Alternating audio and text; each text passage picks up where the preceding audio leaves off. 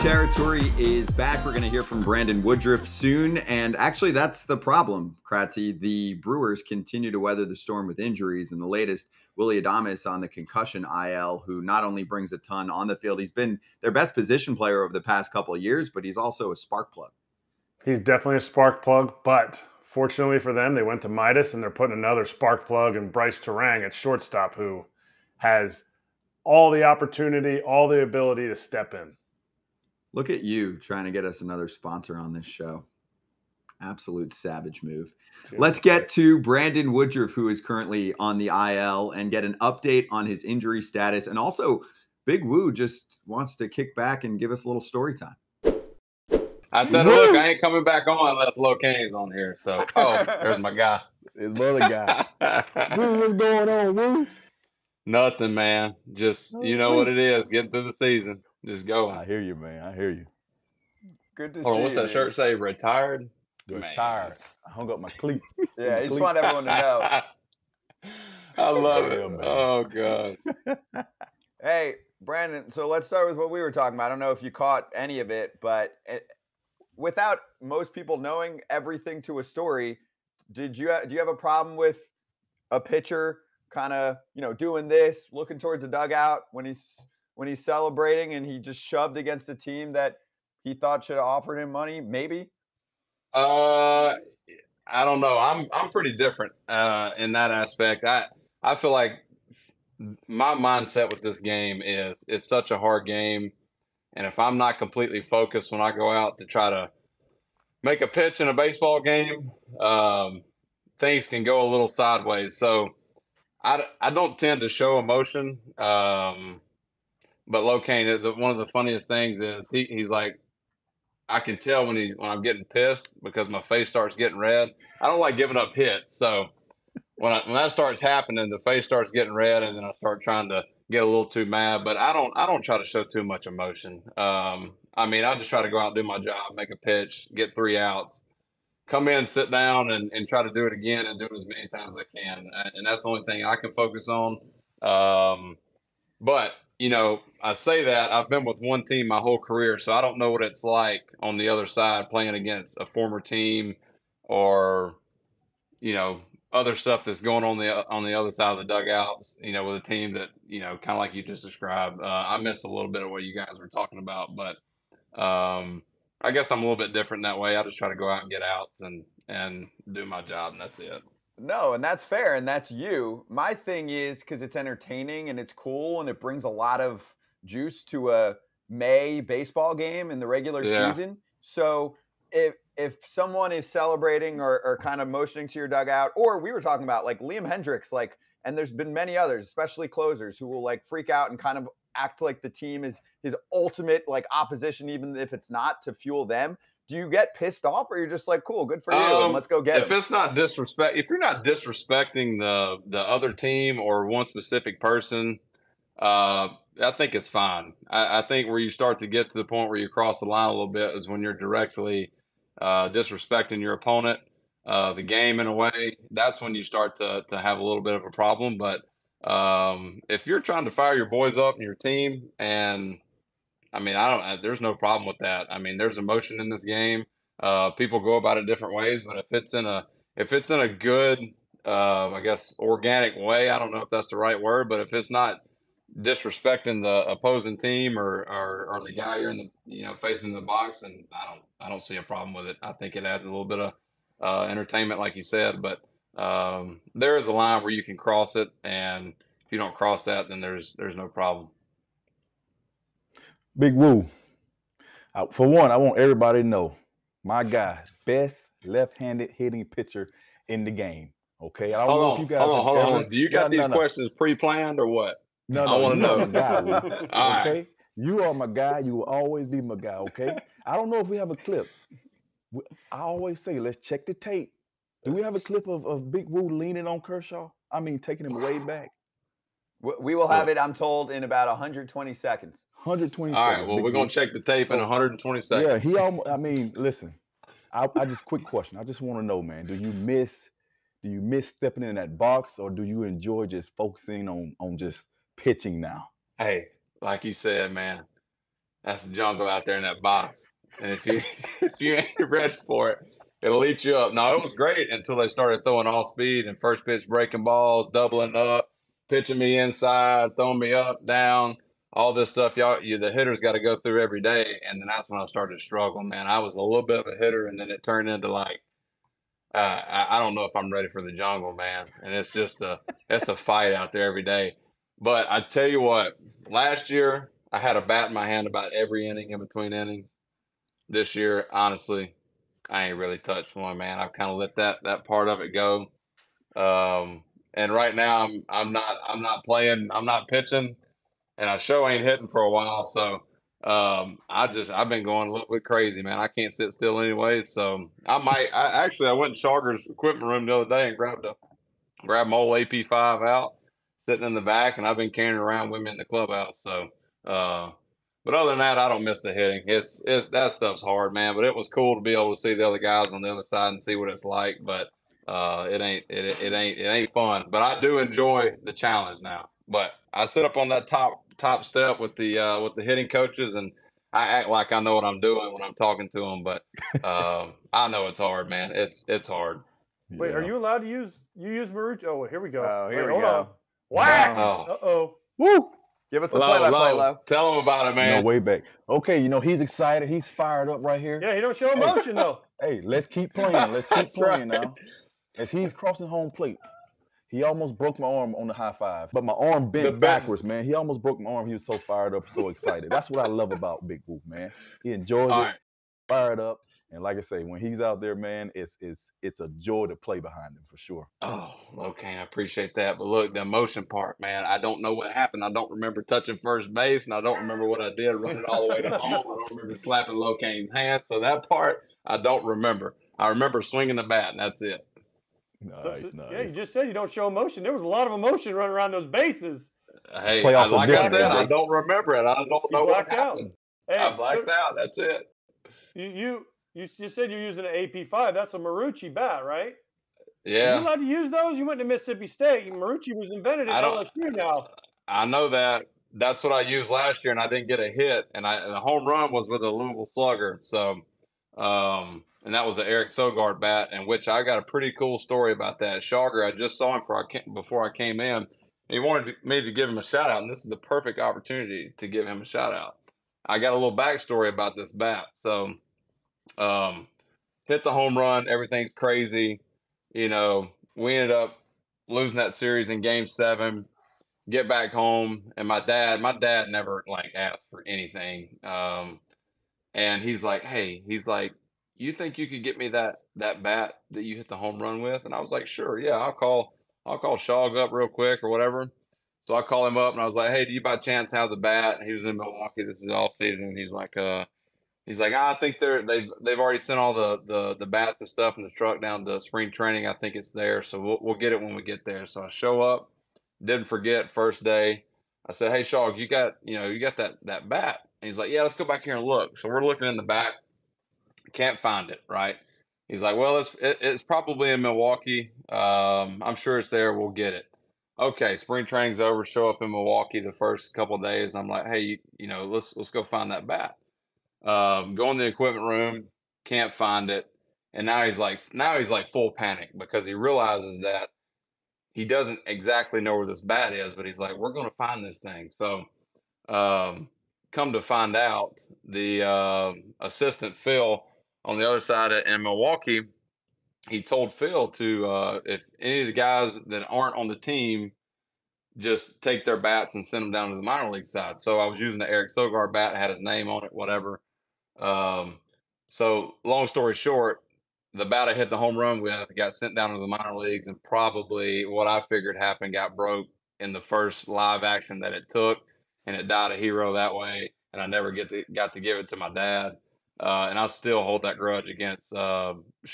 And man, it just and it crushes him every time we get to get to talk about it. But uh, I just I figured out he wanted a little shout out on the show, so I figured I'd give him a shout out in that way. That's that's the perfect way to give him a shout out.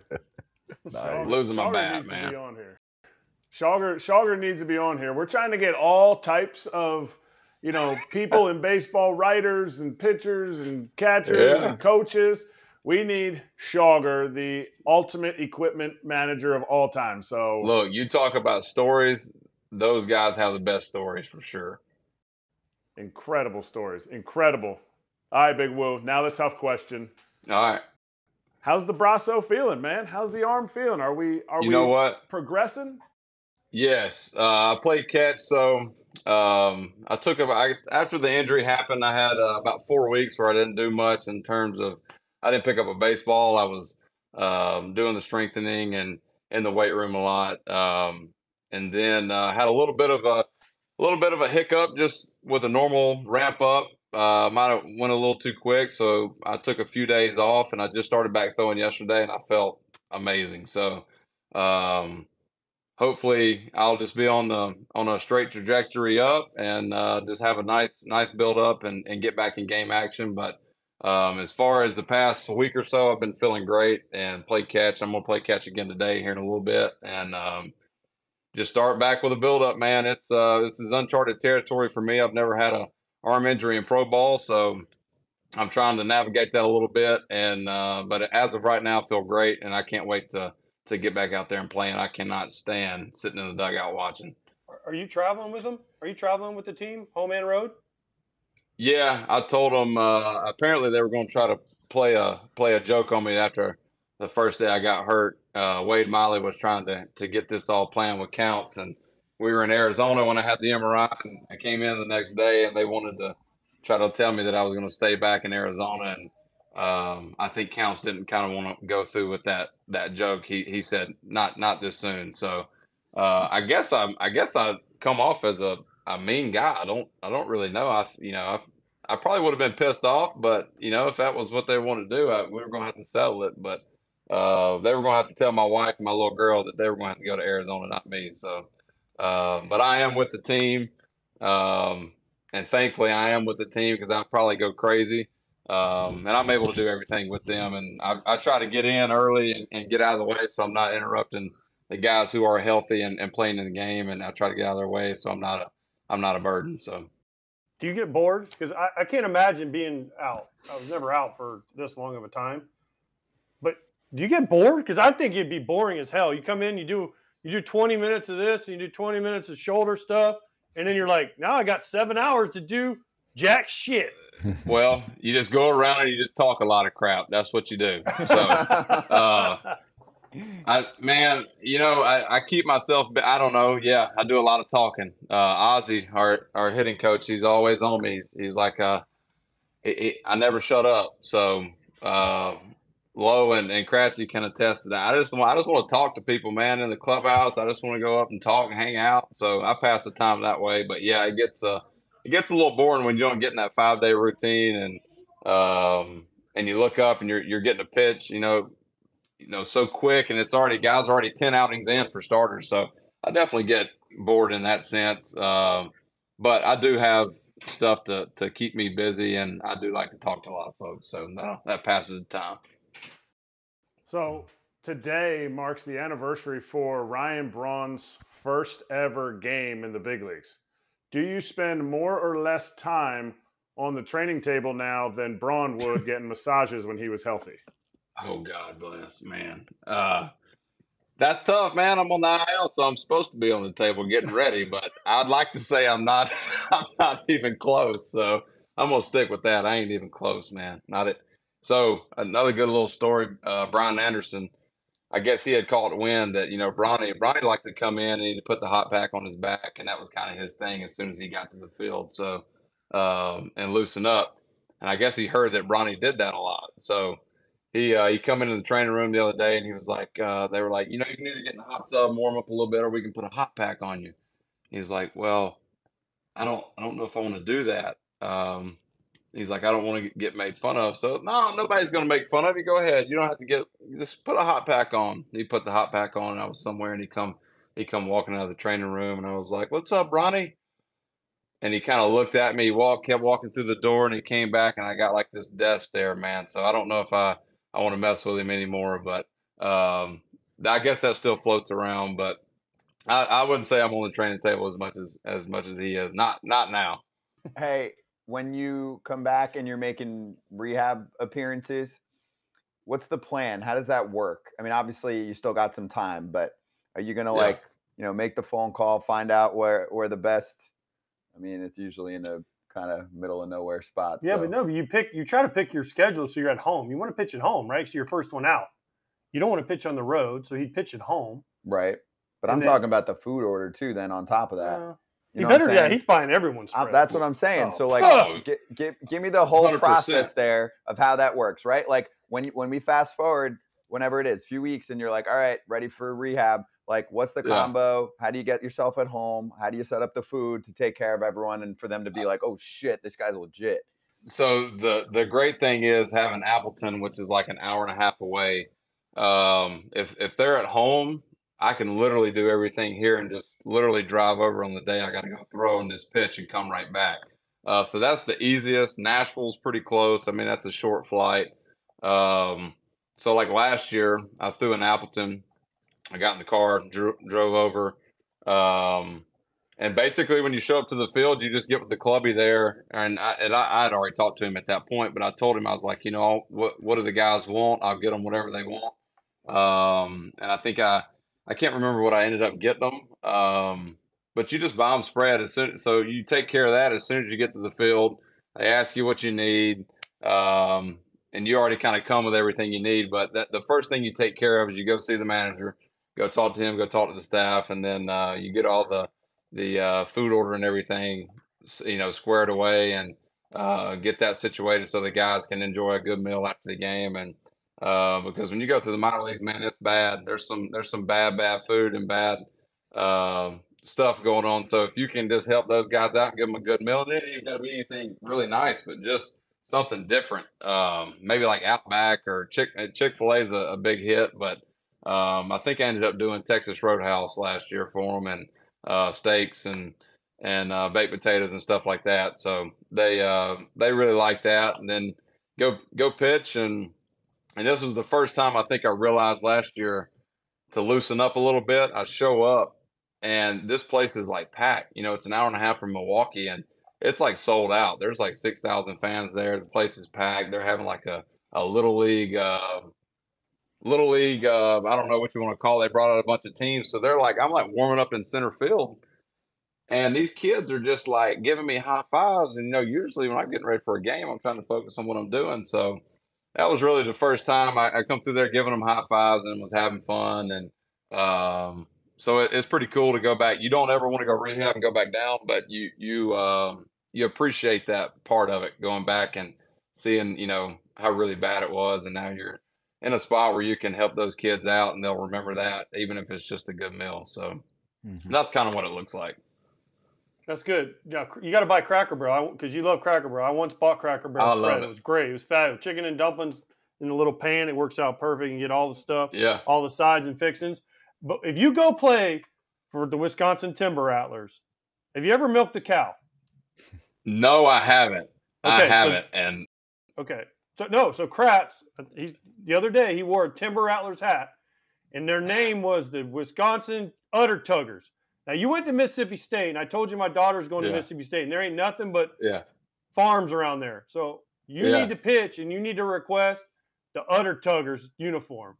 And hopefully Kratz went and got the hat because it would be absolutely perfect for you. Oh God! Well, last year I don't know if you saw this. Last year I threw there. I show up, they give me this jersey, and it's like I'm talking. It goes down past my knees. It's huge, and I'm like, man, I can't, I can't wear this jersey. Uh, so they ended up got in the, in the clubby there, freaking. You want to talk about freaking out? Oh God, the jersey doesn't fit. You know, it ain't like that in the big leagues where you got your stuff custom to you whatever. And he's freaking out trying to find a jersey. He's scrambling. He's like, all right, try on your pants. I try on the pants where they're like wearing a like a garbage sack. They're huge, man. I'm like, I can't wear these pants either. Luckily, I brought my pants, so I went into the manager Joe Ayrault. And I said, Joe, he was my first uh, pro ball manager in 15 when I got in, and I said, Joe, I can't wear these pants. They're either super skin tight or they're huge. I said, I'm gonna have to wear my cream pants, and is that okay? So he okayed it. So what they had is I had the cream pants and they had like a white jersey. Ended up getting a white jersey that fit.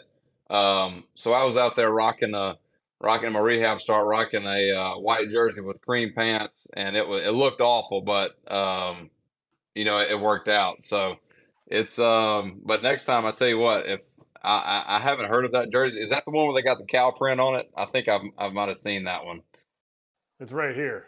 Big Woo. They'll, change the camera. Oh, Look at that. Look at them udders. That's that's, That's all you, kid. That's all you. That that is sick. Yeah. If, when I go back there and rehab, if I go back and rehab there, I'm gonna I'm gonna request that uniform. And you got to buy the boys a little sign. You got to be creative. You got some time. This is a little longer IL stint for you. And I saw what you're making in arbitration. The boys down there know what you're making in arbitration. So I heard what you said. Texas Roadhouse. I need you to be here. You're at a you're at like an eight or nine. I need you to be a ten. Ruth's Chris. All right. Well, Texas Roadhouse might be the fanciest place they've got in these towns when you go to it. So you might have about to give me some suggestions. How about this? How about we go a pregame Chick Fil A, some nugs, Yeah. a postgame Texas Roadhouse, and maybe some J's for the boys down there. Everybody gets a gets a pair of J's. Ooh. Pair of J's. Well, if I was listen, I'm an Adidas guy, so I'll have to. Adidas Come would love on, that. Yeezys. Come on, man. I'm gonna have to hook them up with some Adidas, not Jays, man. I'm Team Adidas. Maybe some Costa. But I, I can kind handle. Hey, that's a, got that's a, on? I got some Costas on. Yeah. Maybe everybody needs some. I mean, minor league boys, they need. Hey, they need some. They need some stuff. You know what? That's a good idea, and I, I'm a very giving person. So, you know what? I, I'm gonna keep that in the back of my mind. Just think about it. You're you're, Yeah, you're a I guy. like You're a generous guy. You can do it. Oh, yeah, people yeah. know. People know. I mean, that story. What was it? Maybe the first interview we did with you, the first combo earlier in the season about Yeah. buying buying some food for random people picking up Oh, their yeah. tabs. That got around. Yeah, love it. And Locane, Locane, pretty generous too. He bought us a bunch of video cases one day, and I, this is when I was like, this is when my eyes got open to the big leagues a little bit. I was like, actually, I got a couple sco- stories: the Miami story, and then the uh, this the the the games games thing. So Locane, man, he. I'm 18, uh, debuted in 17, up for a little bit, and then 18, I was up and down like six times, and and and Locane was like the one veteran when I would come up and down that would really just like sit down and talk to me, like and just have fun with me and mess with me. I was like, oh, okay, this is my guy here. So these little traveling game cases started coming out where you could take your console with you and it's got a TV in it and you just put it in there and flip it up, plug it in, and, and play your video games. So we're we're all talking about them. Maybe one guy's got one here. Well, look, Haynes was like, well, just take a piece of paper around and see who all wants one. And I was like, wow. I was like, dang, that's that's big time. I've never seen this before. Like this guy's gonna buy everybody a case. Well, you had folks who ain't never picked up a a, a, game of controller, don't even know what Xbox, PlayStation is. They was writing their name down. You know, we had like twenty five, like the whole team had like twenty five folks buy one. I don't know how much it was, Low. It was, I mean, it was quite a bit of money, but he's just like, here you go, boom, bought it. Week later, these things are in the clubhouse. And I was like, this is the coolest freaking thing ever. And I'm like, if I ever get to this point, that's what I'm gonna do. I'm gonna I'm gonna do stuff like that and and and try to take care of the boys. So then we get to Miami, and I was hurt at this time in 19 with my uh, oblique, and I'm starting to come back. And uh, Gio Gonzalez was with us. He's from Miami. He um, he had a buddy down down there that had a Lamborghini, and I was like, oh man, I've never even seen one of these before. Like I'm from Mississippi, they, these things ain't even heard of. I was like, I just want. He's like, you can come see it. I was like, all right, cool. I want to come. I want to come over to your house and see it. Whatever, sit in it, whatever. So show up to the game that night, and uh, we're sitting in the dugout. He's like, he's like, Big Woo, turn around. Gio was like, Big Woo, turn around. His buddies are sitting behind the dugout, and they've got a Lamborghini key and a Ferrari key, and they're like jingling them. They're like, oh, he's like, you're gonna get, you're gonna drive one.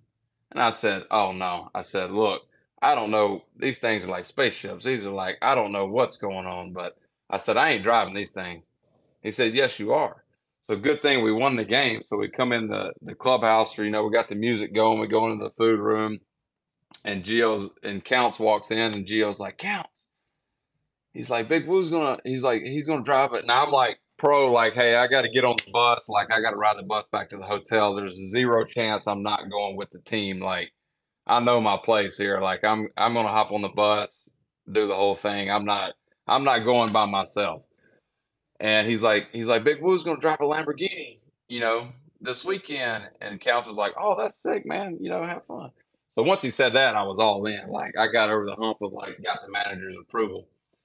So we show up, this white Lamborghini, brand new 2020 at the time. I get in this thing, crank it up, and it had 83 miles on it. And I'm like, oh my God, what? I said, what am I doing, man? I, am sweating like it. It's got all these buttons in it and stuff, and I'm too big for the car. So I had it for the whole weekend. I'd valet it, and I'd and I'd drive a different guy to the field every day. Well, the last night I had it, it was my wife's birthday. We were having a little birthday dinner for her, and all the wives and stuff were already uh, at the place in downtown. And um, so I was like, "Low, man," I said, "Let's hop in the Lambo and let's let's go cruise. Let's you know let's go meet them, and we'll go we'll go have dinner." So we get in there, we drop the top. You know, it's a beautiful night, Miami. We're in this Lamborghini, and you know everybody's looking at us. And we pull up to the to the valet. I've never been to this place. I don't even know where this place is. Pull up. Well, I like pull past the valet, miss it. And I'm like, oh my god, like I can't I can't park this thing. The guy's like, no, you can pull in. So I just put this thing in reverse. You know, just not the the right etiquette to have a Lamborghini. I just throw this thing in reverse and back it in. And the guy goes, "Do you want to park it out front, or do you want to uh, put it in the garage?" And I'm looking at Low like, I, I think we should put it in the garage. I don't want nobody to see this thing. Low's like, "Nah, man." He's like, "We're gonna leave it out front." And the guy goes, "It's either fifty bucks to park it in the in the uh, in the garage, or it's like I don't know, hundred bucks to to to leave it out front." He's like, "No, we're gonna leave it out front." So we get out. He said, "He said." uh we get out, he hands him like I don't know, I hand him a couple hundred bucks. He's like, "Here, man." He's like, "It ain't nothing to a boss." and I was like, he looked at me and said, "Big Wood ain't nothing to a boss." He said, "These pockets are heavy." And when he said that, man, I was like, "All right, this is it. Like, if I can ever make some low cane money, I'm gonna take care of the boys." that's my that's my that's my favorite Lamborghini Miami story I've had, and I don't think anything's gonna top that. But it, we just pulled up and he just he just he just reached in his pocket handed the guy the money. He goes, he's like, just keep the change. It ain't nothing to a boss. And when he said that, I about lost it, man. I about lost it. look at look at Low and you, Low, you're just playing it cool, just like you did with stealing bases on my knee hurts. You're oh. like, oh, I'm just chilling in Oklahoma with some with some farm animals. No, you're you're driving the Lambo, just tipping a couple hundo, leaving wow. it out front. I love you, Big Woo, man. You're the man. hey, if y'all need proof of that, I got pictures. We were taking pictures in front of the Lamborghini, the whole thing. It was fun. Woo. Was it, it was, convert, was I'm assuming it was like a Huracan Lamborghini. It was a uh, yeah, it was the Huracan Evo Spider. It was like the, it had just come out for that year. So my my buddy of mine had one. And he let me take my daughter to homecoming court, and he had to drive around. So he gives it to me, and it's and he's same about the same size as me. I couldn't fit in it. So the only way I could drive it is I had to put the top down because I was too tall. And then the windshield was like right here. So I'm driving down the highway yep.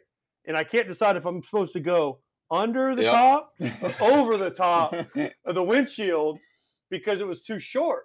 So I get out and I got a line on my forehead. And it's from the wind, wind burn on my forehead that was over because I went yeah. under. So I'm driving this thing yeah, down the highway yeah. and I had a wind burn on my head because it was too big. So I.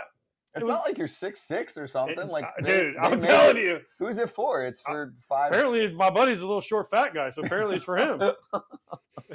Look like Dino. Look like Dino in the in the Lambo. exactly. Uh, well, good story. We oh. appreciate it. Obviously, we'll try and get low on as much as we can when we bring you on. Good to see you, bud. We'll, we'll catch up again in a few weeks and, and keep on that recovery trail. Yeah. All right, fellas. Have a good one. Well, Kratzy, are we going to go a show without talking about Jackson Chourio? Answer: Nope. Walk off homers, all around power. Snapped a little hitless skid for him. He showed that he was human for five seconds and also playing some sweet D. Absolutely. This is what a guy like this, with the tools he has, can do. Yes, everybody goes through ups and downs. Yes, he's the youngest player in the league. Yes, he's really freaking good. Yes, he is their top prospect. And eventually he's going to have to deal with bench coach Pat Murphy when he makes it to the big leagues. Good luck to you, Jackson. And let's hear from Pat. Our conversation with him obviously was hilarious. I mean, it's Pat Murphy. What other introduction do you need? The guy is. Who did you steal that shirt from? Like, there's no way. Like, is that is that your line? Is that your is that like your you're the hitting coach now? You got a hit shirt. HIT. Jace Peterson had it and gave it to me. I don't turn down free shirts. So Why are you sweating? Did you just tie your shoes or put on your socks? no, I was out in the field with my four-year-old, my eight-year-old, with Wade Miley and Pedro uh, throwing diving catches. How's Wade doing? He's awesome. He's he's on the mend. He's he's he's throwing he's throwing to the little kids, and the trainers are having a having a fit because he's not the, supposed to throw. Wait, are you in are you in Counsell's office? No, I'm in uh, Shawger's office. Oh, it's okay. actually my office. It's actually my office. I tell Shog, I let him use it. But Wade should just tell the trainers that's part of the rehab, right? You throw diving catches to the kids. Wade rehabs in a different way than anyone else. Anyone who knows Wade knows you just you just have to to know him to understand him. He's got enough dirt in his spikes. I, I think he earned it. So, hey, Pat, give us the uh, the broad view of what this team looks like right now. How much fun are you having, and, and what are your thoughts? Well, I mean, we faced some adversity. Obviously, you got three of your starters down now, um, three of your starting pitchers. One big Woo. I mean, you know, he sets the tone. He just comes at you. He has a way about him that having him out of there changes things. You know, being the small market team we are, we don't have the depth. Um, so it's been rough. It's been rough. Um, and then to lose Wade Miley, but you know, when you lose Wade, he's only been healthy for the full season one time in the last four or five years, but he brings so much to your clubhouse. So he's still doing it. You know, he's still here every day talking to young players, helping young guys. So he's, uh, Kratzy, you remember in 18, the, the impact he had. Um, and uh, so, so losing him's big, but at least we keep his clubhouse presence. Now Eric Lauer's down. He hadn't been throwing the ball the way he wanted. So we're kind of decimated on the mound. We've got, uh, you know, Mitchell went down early. Um, he was playing really good and a difference maker in our lineup with his speed. And then uh, Urias hasn't played all year. So we've been just trying to piece it together. And um, there's been moments that look like, yeah, we could be okay. And then there's been moments that, uh, yeah, you're like, ooh, we need some help. Who's taken over the? Uh, who hits the best infield pop-ups now that Mustakas isn't there anymore? Moose, the silo ball. Moose was the best. So these, you guys don't know this, but um, Kratzy knows it. I would keep two charts taped up on the wall that never came down in the dugout. One was Travis Shaw's broken bats, and the next was Moose's silo balls. And they'd both be so pissed. And they would come back, hit a silo ball or break a bat, and I'd be over there with my marker just tallying up. And uh, hopefully I was trying to bring some some levity to the situation, but didn't, the timing wasn't always right. But uh, would, nah, Moose, Moose can hit him like nobody else. you would definitely, and you would wait too. Like there's plenty of time. The pop up would go up, and if you were pissed, you would just go right over and just mark it and not make a big deal out of it. But if you, if that grin, that's the grin right there. If you had that grin on, you would wait and you would watch them walk down the dugout, and then as they'd walk by, you put their bat or broken bat or helmet in the rack. You would be like, and then you would mark it as they would come by. So that's that's just a little that's just a little piece of Uh, Pat Murphy. That's what he brings, including bagels in his sliders to Yeah, game. Tell us where that started. I'm not sure, Kratzy. I'm not sure. I'm not sure it ever happened. I don't remember it as well as you do, but um, I like to share a snack before a game once in a while and share a bagel. It's kind of like a connection thing, and uh, ask the guys to stay connected. So oftentimes they do. I got Mitchell on it. Uh, Brosseau took a piece, then find out where it came from, and then ask for another. I think you one of your best qualities, I think, as a, a manager, as a coach, I think, is you like to the way you dig into these players, you're testing their mental toughness each day. I think you want to see what they got, and if they have it each day, I think you expose people who are not maybe the toughest. I think, and you try to get the most out of them. I could go on numerous stories just from college alone, but uh, it appears you have continued to do so to where you like to check in and how your team, how your players, uh, yeah. if they're ready for the nine innings that day. Yeah, man, it's funny, Kip, you say that because in a real serious note, like I really do want to impact guys or keep them on track. You know, like I'm not here to to dominate them or to necessarily change them. I just want to impact them by saying, you know, keep your your head down and your wheels on the road, and you know, realize this is a team. Realize there's a next pitch. You can't be you can't be down about the last pitch or the last result. There's a next pitch that you have to be your best self for. Anyway, some of what I do is misunderstood from the outside, but I think on the inside you can see that my intent is really good. I'm not just a hard ass trying to beat you over the head. You know, it's like my intent is is, is good, and uh, I don't know if it's effective or not, but you know, I got a locker today, so uh, hopefully I'll have one tomorrow. Must be doing must be doing something right. I think one of one of my favorite stories is from. I don't even know if you remember this because there's just the countless stories that come from from Packard and Tempe at this time. I think some junior pitcher, sophomore junior pitcher came in, walked two in a row. You took him out. We had a meeting after the game or something. We still won the game, and you just started laying into him. And then you're like, you need to pitch better. And then you looked at this red or this freshman right there. He's like, because I don't want to put this guy in. Do not make me put this guy in next to you. And you're See, just testing everyone. Stories are made up. Those are made no, up. No, they're not. No, they're not. No. See, that's you know, you know who did this the other day? Rowdy Tellez. Rowdy Tellez made up a story about when he first met me, and everyone believes it, and it's a total lie. Um, and you know, because you know, Rowdy told it with such, you know, enthusiasm, people really believe it. And now you're doing it right now. I remember that day. I remember that day. I said, look, don't worry, you won the game. We got through it. You will never walk three batters in a game while you're here because I will always take you out after two. hey, Murph, just so you don't feel bad, Rowdy came on this show and he made up a story about me that I told him to F off when he was a kid in San Francisco. So when you see Rowdy and he puts that cheese head on, hit him over the head with it for me, okay? Because he did it I to you and to, to me. No, it's real. I mean, he told this story that he, he we traded for him and he came to the Mets and or he came while we are playing the Mets, and I get to the field first, and he's laying on the couch, which he does well, and um, so he's a new player, and he said I threw my shoes at him and said, "Hey, clean these, clubby."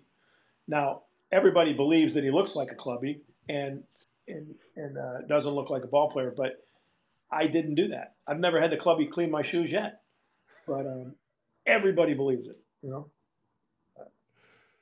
What would you What would you tell your younger self as a coach back when you are?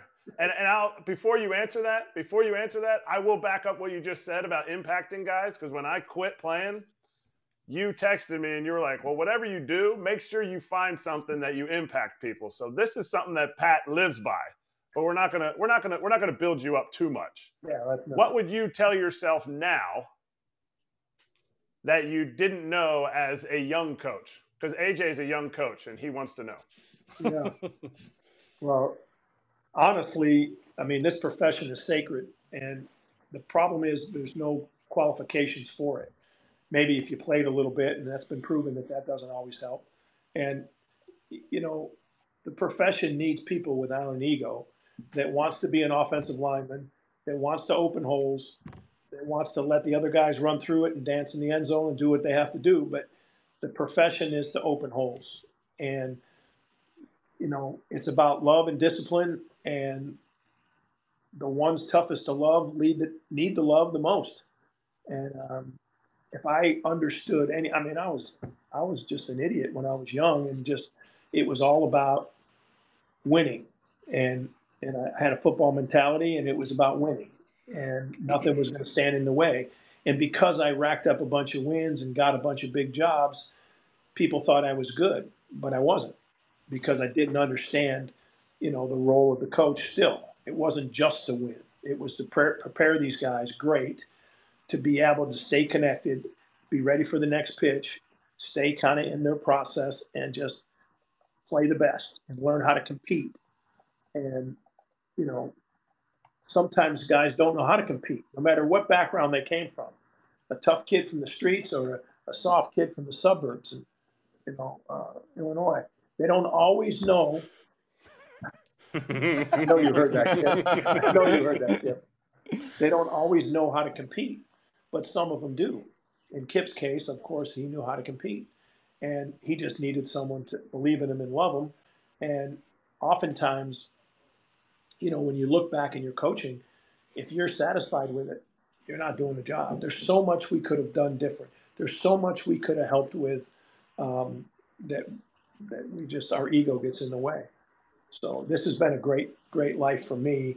I feel like I'm just getting to the point where I'm starting to be consistently, um, you know, consistently prepared and potentially impactful um, on a consistent basis. And I'm 64 years old, and people think I'm too old, but it's like it's silly because I'm better than I've ever been and more aware than I've ever been. So as you take on coaching, when the ego's involved, it, you know, when when the loss creates that black hole inside of you and you take it personally, that's not right. You know, you should be preparing to rally these young men to get to the next stop, not just in their career, but the next game. To be clear, you know, to be convicted playing that next game and not to be bogged down by the result or the standings or any of that other BS. Well, I think I'm I'm living proof of uh, your impact. I don't think I'd be here, obviously, being able to interview. I think that's pretty cool that uh, I can honestly thank you for getting all the way to this point. Um, and I could prove that you're getting a little softer. I think maybe the best version I've seen of you was probably two years back uh, in the stands at ASU, getting to watch Kai play for Arizona State. I think that was one of the coolest moments I've seen. Oh, uh, I think I first time I've seen you nervous around a baseball field. Um, so what was that like, getting to just be a father and not a coach, yeah. and getting to watch Kai play? I know he's with the Padres now, right? Yeah, yeah. Uh, they're minor leagues, but that had to be pretty sweet to see him go back there. Yeah, you know, I didn't want him to go there, um, um, but that's what he that's what he chose, and he made the most of it and uh, did well. But being in the stands, watching him, and again, it made me a better coach. When he was born, it made me a better coach. I realized, oh, everybody loves their kid the way I love my son. Oh my God, you know, I better be a little more respectful. Or then watching him play, I can think of all, I thought of all the dads out there watching their kids play and um, not having the experience I have in the game. So not to be able to watch it in a critical way. Um, but what a, what a great thing. And having you there, Kip, and uh, the way to see your success, no, no kidding, to see your success, that kid that came in um, hungry as you were, and just you got a book scholarship and you just made the most of it and you just instantly impacted our team and um, you wanted to win. And I knew you were going to be a successful professional, and uh, that's to say the least. I'm not sure I picked up those books though, but we we made it there on the back end. made it there. The education system has to change, campus. hey, Murph, you I, I, always bring this up when people talk about like how do the Brewers keep making it? How do they keep making it? And I point to the coaches. I point to you. I talk, you know, I point to a big person I always point to because these guys that are out there and are doing what they're doing, they're told what they're supposed to do. They're told, hey, you know, they're built up and they're just getting the most value. Is a guy like Counts. Counts is kind of a lame duck right now. No contract. Nah. Like Counts can work anywhere he wants, man. The counts, counts, counts can call the shots right now. He's he's um, he can if he wants to stay here in Milwaukee, I'm sure he can. I'm, I, I don't know the particulars, but uh, how can you not be pleased with the way this guy has developed into a great manager? And he's and, and he's aware he has to get better. He's not a guy that this is the way I do it. You know, um, he's he's terrific, man. He's a great decision maker.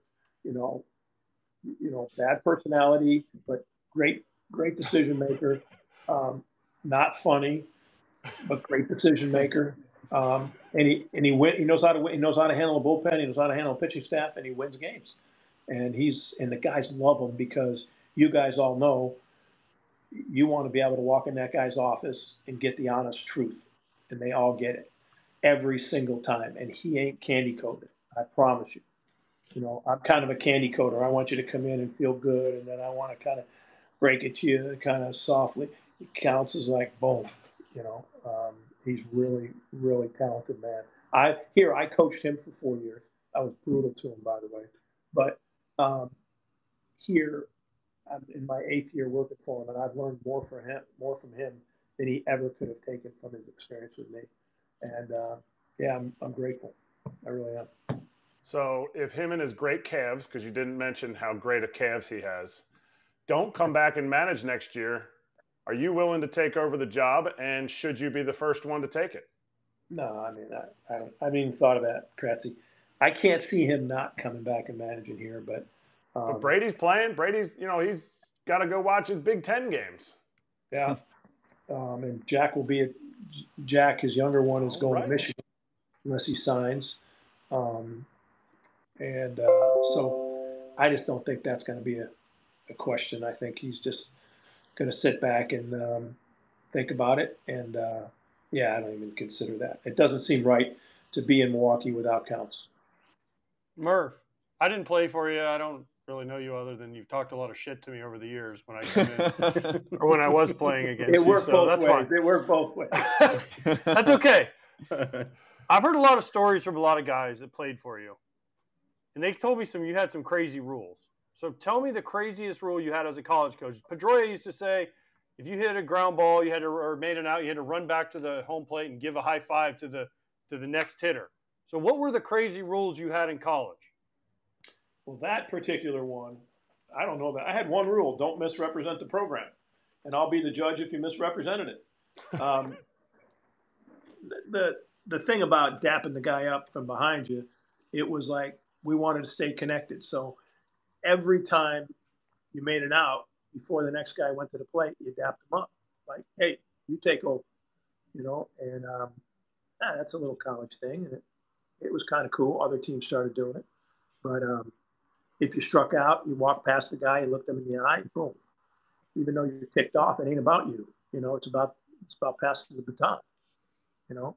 Um, so why don't you, you do that in the big leagues? Why don't you do that in the big leagues? You know, have have Christian Yelich go up to Rowdy Tellez and be like, "Yeah, dude, let's go. It's your turn." Well, because the way you said it isn't isn't the intent, but it's, a, it's kind of like a real thing of connection, and you know, you're making it out like a cheerleading thing. But anyway, um, well, see, that's how it plays to us not on the inside of these programs. We, I didn't play for you. That's why. That's why telling you my rules um, won't make any sense to you. It was for the room, the guys in the room, you know. But okay. um, there was no, there wasn't a lot of rules. You couldn't talk to the opponents. That was another thing. Like you, you had counts got in trouble. Sean Casey came out on whatever channel he's on and said, you know, Counts was the nicest guy in the world, but he'd never talk to me on base. I couldn't understand it. And finally, I asked him, you know, why? And he said, well, my college coach had a rule. You don't talk to opposing players. And just tell him one thing. Hey, man, I'd love to talk to you, but my coach is a real jerk. And uh, he can't talk. so he, Casey brought it out and said, yeah, well, Pat Murphy, you're the reason, whatever. But um, you're the reason yeah, why everyone hated me too, Pat, because you taught me that when I played for you. So I didn't talk to the other team either. So thanks for that. I, under, I understand his pain.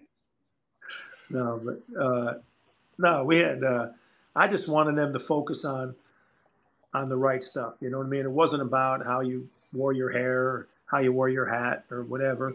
Uh, Merrill Kelly came to our program, and uh, Kip, I don't know, you remember this? No, you were gone. Merrill Kelly came to the program, and in recruiting, he said, "Hey, Murph, I'm not going to wear my pants up, man. I don't, I don't wear those knickers. I don't do that. I need to wear my pants down. And I said, well, fine, wear them any way you want. And the guys looked at me like, Murph, there's no way you're going to let him wear them any way you want. I'm like, no, he'll be fine. So he came out in fall practice for like three days with his pants down digging it. And, uh, and then day four, he came out with his knickers. I'm like, Merrill, what happened, man? I was starting to really like those. And he's like, he just stared at me like, you knew you know, you knew I you knew I'd have them up. But you get to the point where the players run the program, you just want to make sure the players are the right type of guys. You know, and they're thinking right. Who's your favorite player you ever had, and who's the best player you ever had? yeah. Can't answer either of those questions because favorite in in different ways. You know. Um, yes, you can. No, I can't. I mean, Pedroia was awesome. Pedroia was awesome. Good. You didn't say Cody Decker, which he said you would say. So thank you. Did he say that? He said that in the interview that, we yeah. did with him yesterday. Asked Murph who his favorite player was, and then asked him why it was Cody Decker.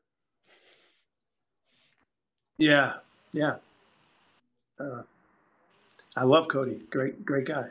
Um, it looks like it. It looks and sounds like it. You just can't I stop do. talking about it. And you just can't give enough praise. no, no, I do, but I, I'm you know, again, he was making a joke about that, and I'm, I'm making a joke about it too. No, I enjoyed. Cody was in AAA and and uh, had two real good seasons, and and added added a lot to our clubhouse. And um, yeah, but like when I asked, you know, when somebody asked the old coach, you know, like, "Who's your favorite player ever? Who's the best player you ever coached?" Well, that's kind of for a coach. That's kind of. I mean, I've got many guys. I got Kip's jersey up in my house. I got. Uh, the Willie Bloomquist and the Craig Counsells and the Dustin Pedroias, Andre, Brett Wallace. I mean, I had some some uh, some great players that I coached in college and uh, in the big leagues. I look at, you know, the guys you got hosting this show, Kipnis, Brock Holt. I was only with him like 60 days, and I call him Bernie. Bernie Holt was one of my favorites. He would still be a Brewer if he didn't step on a ball and twist his ankle. Um, Lorenzo Cain, you know, one of the greats. Um, you want to talk about teammate, you want to talk about coming to play, unsung hero. And then uh, you got Kratz right there. What a joy to see a guy. I don't know, how old were you then, Kratz? 45, 40, 46? but this guy came off the scrap heap. He hadn't, he hadn't caught a ball in months. And all of a sudden, he's catching every day. And all of a sudden, he wins the job. And he's leading us to the, to the one game from the World Series and the guys want to throw to him. He's not framing jack shit. He's just he's just you know catching the ball and he's he's engaged he's engaged with the pitcher and he's he's making that pitcher execute and that team is is impacted because of the way they executed. And um, I think of guys like that, man. There, there's a lot of favorite moments. So I don't have any one favorite player. Um, and uh, best player, nah, what, what about the deaf guy? Was he your favorite player? The deaf guy, the, the deaf guy is a, a tremendous human being. The fact that he fell for that for so long, the, the guy, Francoeur, Francoeur did an interview. Check it out, guys. Francoeur did an interview with a deaf radio station. Let that one set in for a second. and as he was doing the interview, he was talking really slow. Hi, I'm Jeff Francoeur from the El Paso Chihuahuas. I mean, he's a he's a beauty who, man. Who was the one that who was the one that they pranked about that? Francoeur. Oh, they, they, they pranked Francoeur. Yeah, who was the guy that pretended to be deaf? Yeah, who was the setup? He was a pitcher. George George Reyes. George Reyes. George Reyes. It has to be a pitcher. It has to be a pitcher, and I did it. I did it maybe six years in a row and I never intended it to be videotaped. That was Decker's idea, but I I never I never uh, intended that. What I intended is that it's you pull this off for that period of time. It's really kind of brings the team together, and I don't mean to offend any of the deaf uh, people out there or anything like that. It was just meant to be in, in all good natured. And some of the stories we have is fantastic. But then Francoeur took it to another level. I mean, he had dinner with him and his wife. He had dinner with George and his wife and talked to him like, hey, you guys don't sign language. How do you talk? Oh, we just text.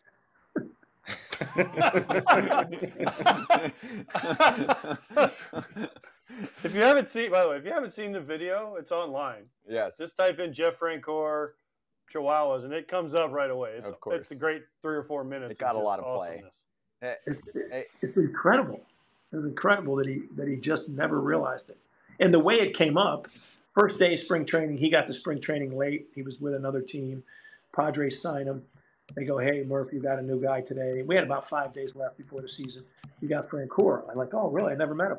So he comes up to me first day and he goes, hey, Murph, how are you? Hey, Jeff, look, we're going to get you back to the big leagues. You're gonna you're gonna bat fourth or fifth every day. Have a great time. Don't tell me when you need a day, but I want you to grab some ABs so when the time comes, May 1st, you're you're ready to roll. And uh, he goes, "Oh, thanks, Murph. Whatever." I said, "Just be. I'll be there every day for you. Just I'm going to be open. You'll be open with me with what's going on."